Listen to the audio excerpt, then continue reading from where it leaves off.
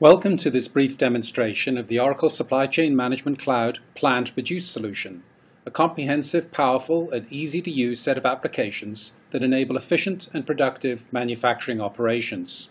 This demonstration shows capabilities planned for Release 11. I start as Vision Corporation's planner. I see a social conversation related to the current plan and I investigate.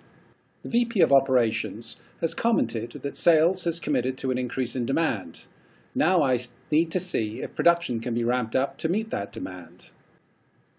I select Planning and select Planning Central. I review a summary of Vision's overall planning performance, which I can configure to fit my needs.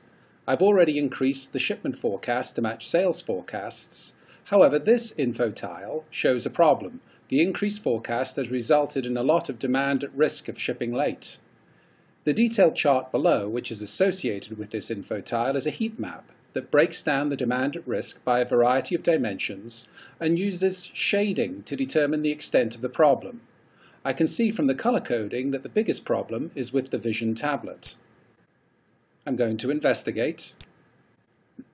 I have a number of options for working on the problem and select Demand Fulfillment to see recommendations to reschedule or expedite orders.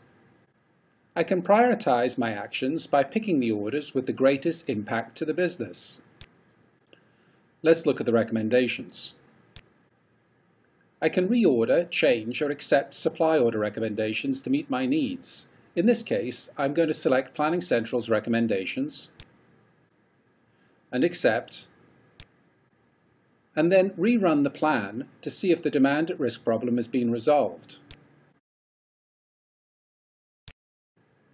I select Action to rerun the plan and select OK to confirm.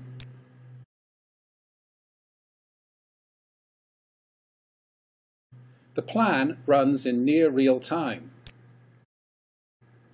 And the Planning Central immediately shows the updated metrics. The changes were a success and the demands at risk of shipping late have been eliminated. So let's turn the plan into execution. I choose to select only the orders that are required on the shop floor immediately. I can expand the order to see if there is enough inventory on hand to start the job. There is, so I mark the orders for release and release them to the shop floor. I select Actions and mark for release, select Actions again, and then actually release the work orders to production. Signing on now as production operator Ellis Bradley I quickly and efficiently execute production. I see metrics that tell me how the plant and my work center is performing. For right now, I am going to simply click on the Ready bar to see the operations that are ready for action. The first item on my dispatch list is a serialized tablet. You'll notice that this item has an asterisk right next to the materials link, indicating the material needs to be issued manually. This is a serialized assembly, so it shows me the parent serial number and all the components I need to issue, all defaulted in. I scan the component item number, then the serial number, and repeat the process for the next component. Scan the serial number. I'm complete, so I save, then repeat for the second parent serial number. This process ensures complete traceability for both. Scan the component and associate it. Repeat for the next serial and associate that. I'm done and can save the transaction. Back on the dispatch list, I can see a green tick mark against the materials link indicating that all the materials have been issued. To complete the operation, I expand the row, I select both serial numbers, and click Quick Complete. The system now shows the next operation is packaging, but we'll leave that for another time.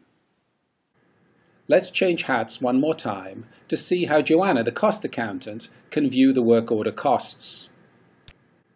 I select Cost Accounting, and let's see what tasks I can perform. I can define standard costs, perform cost roll-ups, and analyze variances, among other things. But today, I will review work order costs.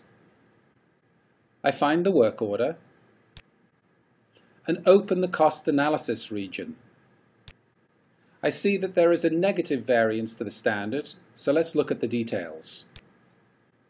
Drilling down to look at the first operation, I can see all of the cost components and the details. This concludes our brief end-to-end -end demo of the plan to produce solution, a comprehensive, powerful, and easy-to-use set of applications enabling efficient and profitable manufacturing operations. For more information, please visit cloud.oracle.com. Thank you.